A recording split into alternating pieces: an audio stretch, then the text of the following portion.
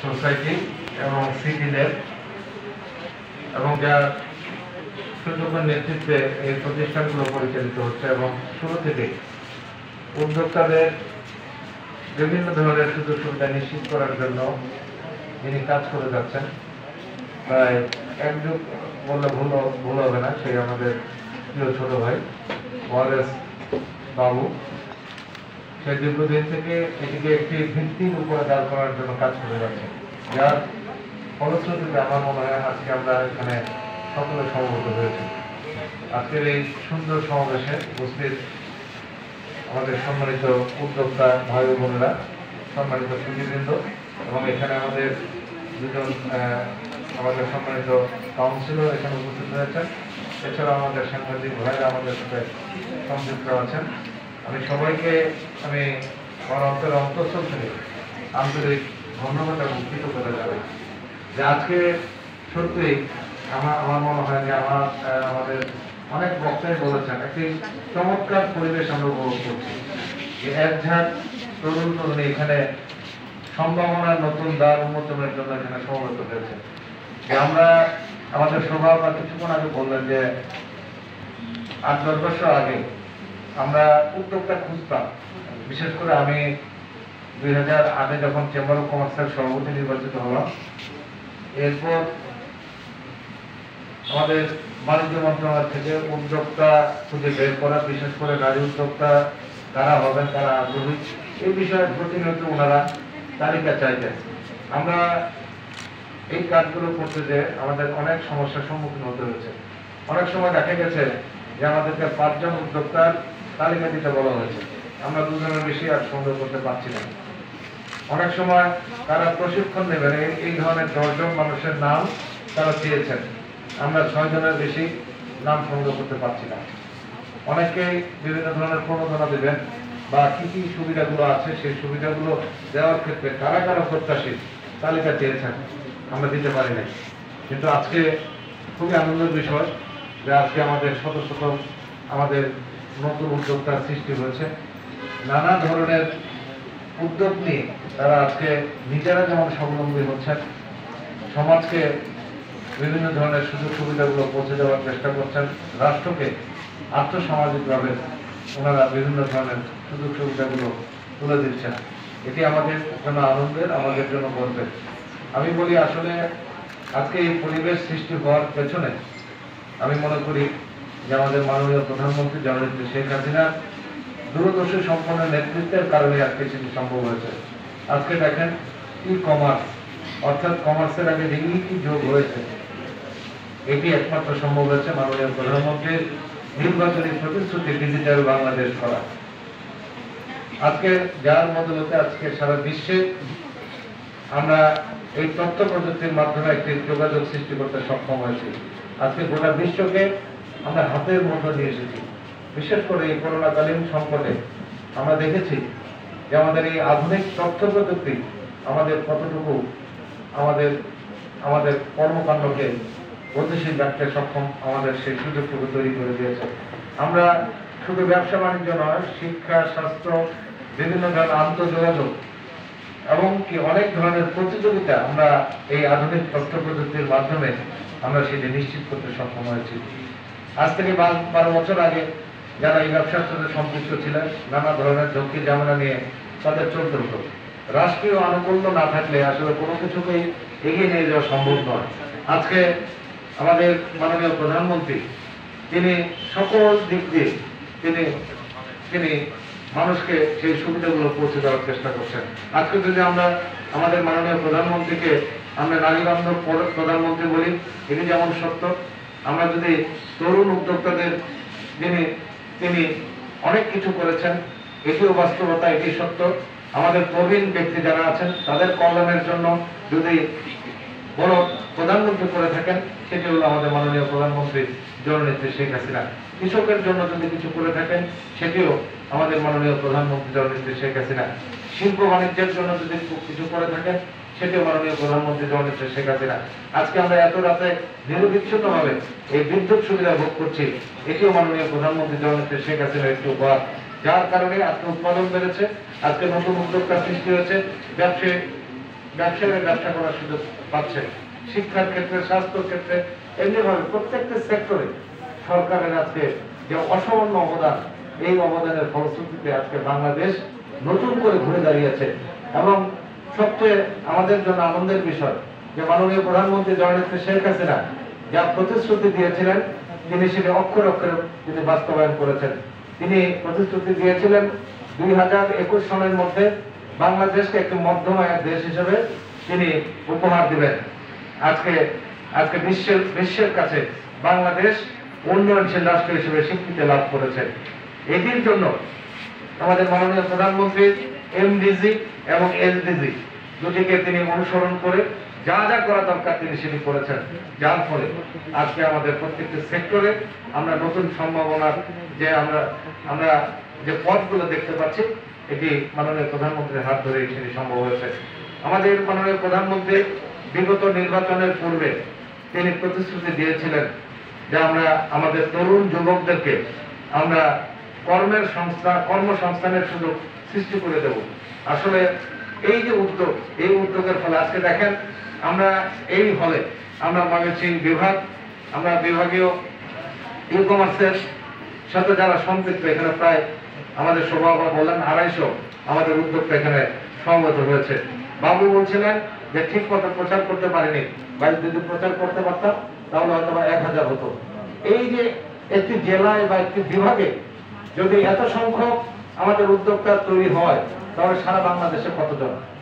আমরা যদি এমন হিসাব করি, এই আপনি, আপনারা যারা আছেন, এখানে অনেক আমাদের ভালো ভালো আমাদের এই এক বোন যিনি বলছিলেন যে অনেকে তার তুচ্ছ তাচ্ছিল্য করে, আসলে এই দিন এখন সেই দিন নেই যে কাউকে কেউ তুচ্ছ তাচ্ছিল্য করে কথা বলবে। আজকে সকলেই তার কর্মের মাধ্যমে তার যোগ্যতা প্রমাণ করছেন। সুতরাং এই প্রতিযোগিতার যুগে আমি বলব যে সবাই এগিয়ে যাচ্ছেন এবং তার যোগ্যতার ছাপ রাখছেন। যে কথাটি বলছিলাম, যে আজকে আপনি একজন উদ্যোক্তা, আপনার অধীনে কতজন মানুষ কাজ করছেন? তাহলে দেখেন, হিসাব করেন, সারা বাংলাদেশে যদি আজকে পঞ্চাশ লক্ষ উদ্যোক্তা থাকে, একজন উদ্যোক্তা যদি তিনজন মানুষকে কর্মসংস্থানের সুযোগ সৃষ্টি করে দেয়, তাহলে মাননীয় প্রধানমন্ত্রীর সেই লক্ষ্য কতটুকু বাস্তবায়ন হয়েছে? আজকে যে পথ ধরে আমরা যাচ্ছি আমরা যদি এই ক্যালকুলেশন করি, তাহলে দেখবেন কয়েক কোটি মানুষ আজকে এই উদ্যোক্তা সৃষ্টির কারণে কর্মসংস্থানের সুযোগ তারা পেয়েছে। সুতরাং আজকে আপনি কাজ করছেন, আপনার কাজের সাথে আরেকজন কাজ করার সুযোগ পাচ্ছে আপনার আপনার এই কাজের ফলে অন্য একটি অন্য একজন ব্যক্তি উপকৃত হচ্ছে। এমনি ভাবে দেশের আর্থসামাজিক যে অবস্থার পরিবর্তন হয়েছে, এটি কিন্তু কথাই নয়, সেটি কাজে প্রমাণিত হয়েছে। আজকে দেখেন সারা সারা বিশ্বে এই কোভিড পরিস্থিতিতে যেখানে জিডিপির হার নিম্নমুখী, আমাদের বাংলাদেশের জিডিপির হার এবারও ঊর্ধ্বমুখী। দুই হাজার দুইশত ডলার প্রায়। এটি আমাদের জন্য একটি বিশাল অর্জন, বিশাল সাফল্য। যেখানে আমাদের মাননীয় প্রধানমন্ত্রী আজ থেকে এক যুগ আগে যখন দায়িত্ব নিয়েছিলেন, সেটি ছিল প্রায় ছয়শো ডলারের কাছাকাছি। সেটি আজকে এসেছে দুই হাজার দুইশো প্লাস সুতরাং এটি আমাদের জন্য একটি বিশাল অর্জন। এটির জন্য দূরদর্শী সম্পন্ন নেতৃত্ব দরকার এবং মানুষের জন্য সেই কাজ করার ইচ্ছা বা শক্তি সেটি দরকার, যেটি আমাদের মাননীয় প্রধানমন্ত্রী সেই কাজটি করেছেন। যাই হোক, আমি এই কথাগুলো বলার উদ্দেশ্য হলো, একজন মানুষ যদি চেষ্টা করে, তাহলে তার দ্বারা সবকিছু করা সম্ভব। আজকে এখানে আমাদের ভাই বোনেরা আপনারা এখানে উপস্থিত হয়েছেন। আপনারা নতুন যাত্রা শুরু করেছেন। আপনাদের সামনে অনেক প্রতিবন্ধকতা থাকবে। কিন্তু মনে রাখতে হবে। আপনি তখনই জয়ী হবেন যখন সেই প্রতিবন্ধকতাগুলো আপনি ডিঙিয়ে আপনি আপনার লক্ষ্যে পৌঁছাবেন। তার মাধ্যমে আপনাকে জয়ী হতে হতে হবে। একটি জিনিস মনে রাখবেন, আজকে আমরা গোল টেবিলে বসে সকল সমস্যার সমাধান আমরা বের করতে পারব না। একটি জিনিস মনে রাখবেন, যখন যেখানে প্রয়োজন সেইভাবে আপনাকে কৌশল করে বুদ্ধির সাথে, বিবেচনার সাথে, একাগ্রতার সাথে আপনাদের সেই কৌশল অবলম্বন করে আপনাকে এগিয়ে যেতে হবে। মনে রাখতে হবে, এখানে আমাদের অনেক বোনেরা আছেন। আপনারা, আপনাদের যদি সেই ব্যাকগ্রাউন্ড আমরা চিন্তা করি, আপনাদের কথা যদি আরও বিশদভাবে জানি, আপনি হয়তো বলবেন যে আমি আজকে এইখানে আসার পেছনে আমার হয়তো পরিবারের অমুকের অবদান রয়েছে। আবার দেখবেন নেতিবাচক কথাও আছে, যে আমি এখানে যেন না আসতে পারি, আমার পরিবারের পক্ষ থেকে সবাই আমাকে টেনে ধরেছিল। এই ধরনের অনেক আমাদের পজিটিভ নেগেটিভ দুইটাই আছে। সুতরাং একটি জিনিস মনে রাখবেন, আপনাকে যারা পিছনে টেনে ধরে ঘরে রাখার চেষ্টা করেছিল, সেখানে কাজ করেছে আপনার শক্তি, আপনার চিন্তা, আপনার চেতনা, আপনার কর্মস্প্রিয়া যার কারণে আজকে আপনি এই অবস্থানে আসতে পেরেছেন। সুতরাং আপনি যদি সেই বাধাকে বাধা মনে করে ঘরে বসে থাকতেন, তাহলে আজকে এই ফোরামে এসে কথা বলার সুযোগ পেতেন না। আজকে আপনি একজন উদ্যোক্তা হিসাবে সেই স্বীকৃতি পেতেন না। সুতরাং প্রাথমিক দায়িত্বটি আপনার। আপনাকে চেষ্টা করতে হবে আপনাকে লক্ষ্য স্থির করতে হবে। আরেকটা জিনিস মনে রাখবেন, ব্যবসা করবেন অবশ্যই মানুষের কাছ থেকে জেনে, বুঝে, শুনে, শিখে তারপরে করবেন। অভিজ্ঞতা সঞ্চয় করে করবেন। কিন্তু আমার ভাই বাবু, তিনি মোবাইল বিক্রি করে তিনি লাভবান হয়েছেন। আমি জানি না, বুঝি না। আমি একশো মোবাইল নিয়ে এসে আমি দোকান বসলাম, বসালাম। পরের দিন দেখবেন আমার যা পুঁজি, সেই পুঁজির অর্ধেকও নাই। ব্যবসা আসলে দেখে দেখে ব্যবসা হয় না। সেটির জন্য চেষ্টা থাকতে হবে, আপনার প্ল্যান থাকতে হবে, এবং মার্কেটিং এর বিষয়টা, হয়তোবা বাবু বহুদিন থেকে সে মোবাইলের ব্যবসা করছে, তার নেটওয়ার্ক আছে। সে একশো মোবাইল আনছে, দেখবেন দিন শেষে সে একশো মোবাইল সে সেল করে ফেলছেন। আপনি হয়তো ভাববেন যে, বাবু ভাই, একশো মোবাইল সেল করছে, আমি পঞ্চাশ কেন পারব না? আপনার নেটওয়ার্ক নাই। আপনি ফেল করবেন। সুতরাং একটা ব্যবসা করার আগে অবশ্যই আপনার কাস্টমারের যে ডিমান্ড সেটিকে আপনার নির্ধারণ করতে হবে। এটি যদি না করেন, তাহলে বাংলাদেশের বিশ্বের সকল ব্যবসায়ী লাভবান, লাভজনক, আবার সকল ব্যবসায়ী আবার লসের ব্যবসা হতে পারে। সুতরাং এটি আপনাদের উদ্দেশ্য বলার আমার আমার কথা হলো যে আপনারা একটি জিনিস মনে রাখবেন যে ব্যবসা করতে হলে আপনি কি আইটেমের ব্যবসা করবেন? আপনার কাঁচা মাল থেকে আনবেন? কীভাবে আপনি সেটি সংরক্ষণ করবেন? কার কাছে বিক্রি করবেন? এটি মার্কেট ডিমান্ড আছে কিনা সেটি যাচাই করতে হবে। আমার ভাই করেছে, সে ভালো করছে বলে আমি করতে পারব, সেটি বড় কথা নয়। আপনাকে সেটি চিন্তা করতে হবে, সেই মার্কেট অ্যানালাইসিস করতে হবে। তার মাধ্যমে কিন্তু আপনি প্রাথমিকভাবে টিকে থাকতে পারবেন। এরপরে আপনার এক্সপ্যান্ড করার কথা চিন্তা করতে হবে। আপনাদের কীভাবে আপনাদের অন্যান্য সমস্যাগুলো রয়েছে সেগুলো চেষ্টা করতে হবে। দেখেন আজকে এই ই কমার্স প্ল্যাটফর্ম হয়েছে বলে আজকে আপনারা আপনারা শেয়ার করতে পারছেন, অভিজ্ঞতাগুলো বিনিময় করতে পারছেন। এখানে আমাদের অনেক ভাই বোনেরা আছেন, তাদের বিভিন্ন সাফল্যের কথাগুলো তুলে ধরেছেন, আবার অনেকের সমস্যার কথা তুলে ধরেছেন। আমি বলব যে যারা সাফল্যের কথা বলেছেন, তারা একজন শিক্ষক।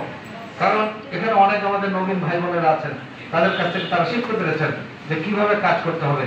এই যে গ্যাদারিংটা এই প্ল্যাটফর্মটা হয়েছে, যদি এটি আমাদের জন্য একটা বড় অ্যাচিভমেন্ট আজকে হয়তো বা আমরা প্রত্যেকে এখানে খালি হাতে যাব, কিন্তু একটু যদি চিন্তা করেন, যদি চিন্তা করি, তাহলে দেখবেন আপনি যদি চিন্তা করেন, আমি এখান থেকে কি শিখে এসেছি, আমার কি করতে হবে, আমি এটির দ্বারা কীভাবে উপকৃত হব, আপনি দেখবেন কম করে হলে দশটি পয়েন্ট আপনি পাবেন। সেটার জন্য আপনার চিন্তা করতে হবে। আর যদি আমি এখনই এখান থেকে মনে মনে আমি ভাবি যে আমি এখানে এসেছি, আমি বিশ জনের কথা শুনলাম এটি আমার শেষ। তাহলে আমরা আসলে, আমরা যদি হিসাব করি, তাহলে আমাদের প্রাপ্তির খাতা শূন্য।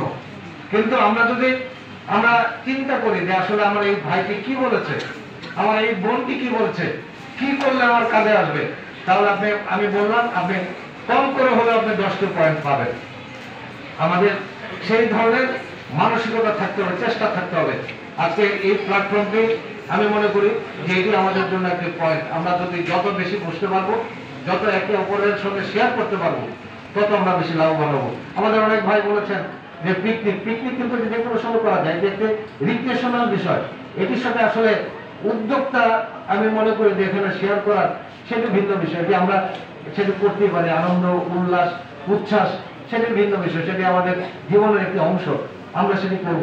কিন্তু আমাদের শেখার জন্য আপনারা আমি যদি আমি আরও খুশি হতাম যদি বলতেন যে আমাদের জন্য একটা প্রশিক্ষণ কেন্দ্র দরকার। এটা আমাদের জন্য ভালো হতো। যে এখান থেকে বিশটা আমাদের আইটেম যদি প্রশিক্ষণ, বিশটা আইটেমের যদি প্রশিক্ষণ দেওয়া যেত, তাহলে প্রত্যেক ব্যাচে কতজন মানুষ প্রশিক্ষণ গ্রহণ করতে পারতো আপনি চিন্তা করেন? সেটা আমাদের জন্য দরকার। আমাদের জন্য এর বাইরে আমাদের ভালো প্রশিক্ষণ দরকার।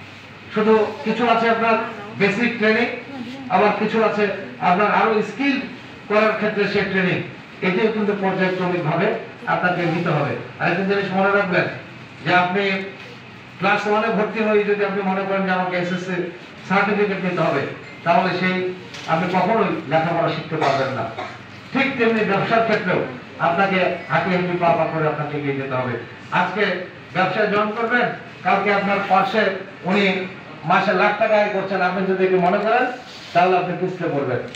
আপনাকে আপনার ব্যবসার কর্ম পরিকল্পনা সেভাবে ঠিক করতে হবে যে আপনি কত টাকা আপনি আয় করবেন, কত টাকা পুঁজি। আরেকটা জিনিস আমি বলব যে ব্যাংক ব্যাংকের কথা বলেছেন, এটি আসলে এটি সমস্যা। তবে আমি আপনাদের সকলের কাছে অনুরোধ রাখব যে ব্যাংক একটা জিনিস মনে রাখবেন ব্যাংকের টাকা নিলে সেই টাকা আপনাকে ফেরত দিতে হবে। এবং সেটি সুদ সহ আপনাকে ফেরত দিতে হবে। আপনি একশো টাকা নিলে আপনি যদি ঠিক মতো পেমেন্ট না দিতে পারেন, তাহলে হয়তো বা দুই বছর পরে সেই টাকার পরিমাণ হয়তো বা তিনশো টাকা হবে, যেটি আপনার জন্য আপনার জন্য ফেরত দেওয়া কষ্টকর, এমনকি আপনার ঘর বাড়ি বিক্রি করতে হতে পারে। সুতরাং আগেই ঋণের পিছনে না ছুটে আপনি ব্যবসার স্টেবিলিটি আপনি তৈরি করুন, আপনি প্ল্যান করুন, আপনি প্রাথমিকভাবে আপনি নিশ্চিত হন যে আমি এক হাজার টাকা বিনিয়োগ করে আমি সেখানে পাঁচশো টাকা আয় করেছি, আমি যদি এখন তিন হাজার টাকা বিনিয়োগ করতে পারি, তাহলে সেখান থেকে আমি পনেরোশো টাকা আয় করব, ব্যাংকে আমি এক হাজার টাকা দিয়ে তারপর আমার আরও পাঁচশো টাকা থাকবে। এটি যদি আপনি নিশ্চিত হতে পারেন, তবে ব্যাংকের কাছে আপনি যাবেন। এটি আপনাদের কাছে অনুরোধ। যদি না করেন, তাহলে আপনারা যতই আমরা ওভার নাইট আমরা বড় ব্যবসায়ী হতে চাই না কেন, আপনি আমাদেরকে বুঝতে করতেই হবে। সুতরাং আমি আপনাদের কাছে বিশেষভাবে অনুরোধ করব যে ব্যাংকে দ্বারস্থ হওয়ার আগে আপনারা নিজের বিজনেস ডেভেলপ করেন, অভিজ্ঞতা সঞ্চয় করেন কানেক্টিভিটি গড়ে তুলুন, তারপরে আপনি সেই আপনি সেই চিন্তাটি করুন। ব্যাংক টার্নওভার কেন চায় আপনি আপনি একটা আপনি একটা দশ লাখ টাকার আপনার যে গাড়ি কিনবেন, আপনি গাড়ির চালক খুঁজবেন, আপনি কি যিনি চালাতে জানেন না, যার ড্রাইভিং লাইসেন্স নেই, তার কাছে কি গাড়ি দেবেন? নিশ্চয়ই দিবেন না। আপনি দশ লক্ষ টাকার অ্যাসেটটি আপনি দিবেন, যিনি দক্ষ, যার ড্রাইভিং লাইসেন্স আছে, যিনি যত বেশি আগে ড্রাইভিং লাইসেন্স করেছেন, তাকে কিন্তু আপনি প্রায়োরিটি দিবেন। ঠিক ব্যাংকও আপনাকে খোঁজে যে আপনি অ্যাকাউন্ট করবেন, আপনার টার্ন ওভার কত, অর্থাৎ টার্ন ওভার কেন চান? যে আপনি এক মাসে কত টাকা সেল করছেন, কত টাকা আপনি লাভ করছেন আপনি যদি এক লক্ষ টাকা আপনি টার্ন ওভার করেন, তাহলে সেটা ক্যালকুলেশন করে আপনাকে ষাট হাজার দেবে না আশি হাজার দেবে না, নব্বই হাজার টাকা দেবে তারা, সেখানে তারা সিদ্ধান্ত নেবে। কিন্তু আমার টার্ন ওভার এক লক্ষ টাকা, আমি পাঁচ লক্ষ টাকা যদি আমি চাই, তাহলে এটাই আমি পরিচালনা করতে পারব কিনা, সেটি আমার ভাববার বিষয়। কারণ কারণ আপনি, আমি ক্লাস ওয়ান থেকে, এক স্কুল থেকে দিয়ে আরেক স্কুলে ক্লাস ফাইভে ভর্তি হব, এটি আমার পক্ষে কোনোদিনও সেই ফাইভ উত্তীর্ণ হওয়া সম্ভব নয়। সুতরাং এই বিষয়টি আসলে হিসেবের বিষয় ক্যালকুলেশনের বিষয়। এটি আমাদের নিজেদের, এই বিষয়ে আমাদের সচেতন হতে হবে আর ব্যাংকিং অনেক সময় আবার যেটি বললাম যে অনেকেই স্কিল, তাদের টার্ন আছে, তাদের প্রশিক্ষণ আছে, তাদের সেই ক্যাপাসিটি আছে, কিন্তু ব্যাংক তাদেরকে দিচ্ছে না। এই ধরনের সমস্যাও কিন্তু